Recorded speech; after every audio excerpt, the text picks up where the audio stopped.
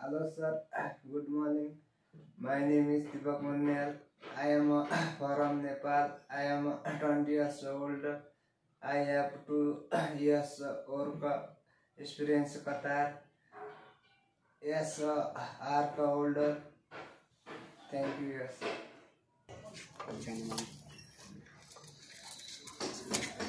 ठीक है तो तब की हो